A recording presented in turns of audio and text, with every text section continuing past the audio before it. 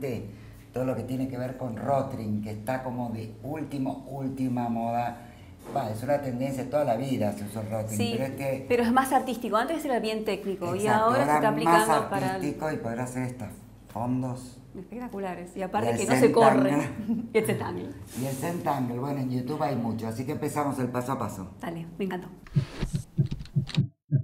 Lo que vamos a hacer primero, Herminia, en este caso, es transferir el diseño, ¿sí?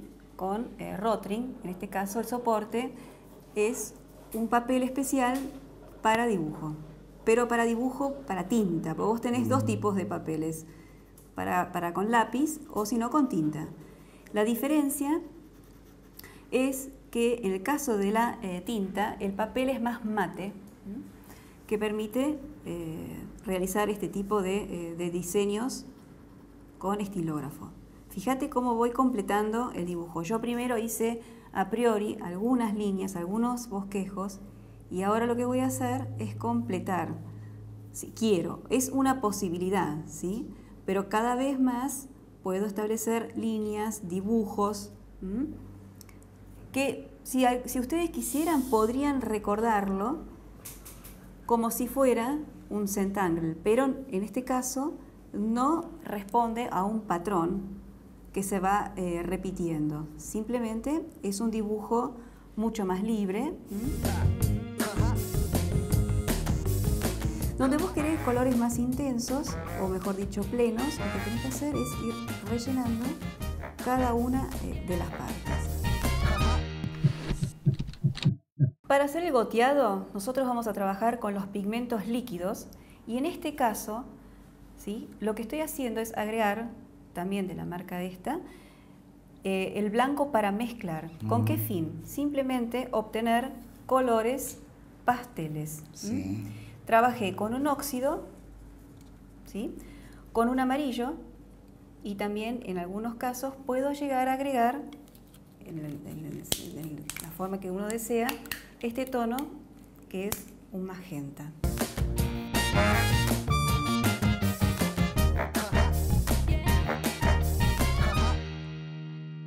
Después, ¿qué hago? Juego con un poco este tema de levantar la hoja, ¿m?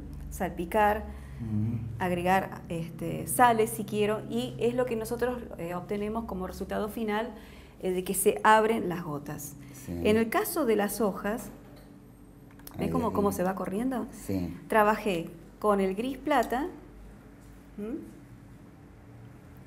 y con el amarillo. O sea que trabajé simplemente con cuatro colores, nada más, cuatro o cinco colores, nada más. Y es lo que lográs, eh, digamos, jugando con el salpicado y la combinación de estos tonos, este color tan a la moda que es el marsala, ¿sí? Y los grises. La última etapa de este trabajo es patinar, eh, digamos, el cuadro. Para eso fabrico mis propias pátinas mezclando barniz al agua con estos mismos pigmentos líquidos. Utilizo un pincel suave, en este caso pelo de Marta legítimo. ¿sí? También puede funcionar muy bien uno sintético. E intercalo el tono ocre y rosa viejo en distintos sectores. Yo ya hice una pátina previa a esto, porque es el trabajo terminado, pero fíjense que yo puedo superponer la, eh, la pátina siguiente sin que esto me afecte mi trabajo y a su vez genere otras eh, tonalidades. El trabajo final consiste en decorar todo esto con guta. En este caso, trabajé con guta, cobre, porque es la tendencia, es lo que viene en el 2015, el cobre y la guta oro. Y aprovechando estos tonos que son, que me gustan mucho, que es el marsala, los óxidos, ¿sí? Todo lo que a ustedes se les ocurra como eh, diseño para eh, complementar o formar parte de este eh, trabajo. Plante cuenta con una completa gama de productos para los pintores, los mejores tonos acrílicos y para tela, accesorios, variedad de esténciles y barnices al agua. Novedosos modelos en servilletas completan la línea artística de Plante. Este además me encanta, mira. Esto no lo puedo creer. El color Bueno, igual con estas paredes también, que Sí, impresionante. totalmente, todo luce. Esto es lo mismo también hecho con el rotring. Sí, y en este caso otros colores, simplemente el verde hoja nueva, ¿no? Y el Sí. cian, que se usa muchísimo. Se usa mucho el cian y el verde hoja, ténganlo en cuenta Muy en porque cuenta. Eso es otra cosa que te quería decir, el diseño de hoja, ¿no? Que sí, se transmitiste, usa que muchísimo mucho. en todo lo que es la ropa y demás. Y este hasta para carteras, hasta para zapatos, es un diseño que hiciste increíble. Sí, sí, sí, es, es, es muy, va, qué sé yo, es mucho más desestructurado todavía.